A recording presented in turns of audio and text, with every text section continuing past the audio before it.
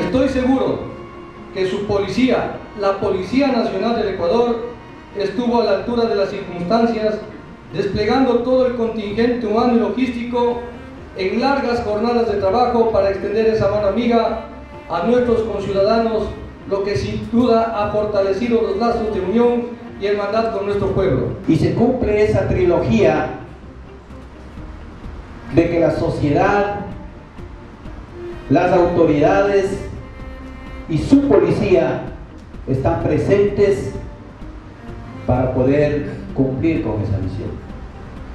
Y ahí va nuestro agradecimiento y la gratitud a todas estas instituciones, como dije, públicas y privadas. Sepan que tienen una policía a su lado, que tienen una institución que garantiza el orden, la paz y la seguridad de todos los ecuatorianos. El paradigma eh, institucional que tenía la policía antes eh, de la Revolución Ciudadana era, no era muy positivo. Ahora la ciudadanía reconoce su labor y los busca permanentemente. Siempre ustedes son reconocidos por la ciudadanía y ese es el reconocimiento que vale. No importa cuál sea nuestro pensamiento ideológico, lo que nos debe mover actuar y a trabajar son los principios. Y el principio en el que el ciudadano es el fin. Vamos a seguir combatiendo la delincuencia.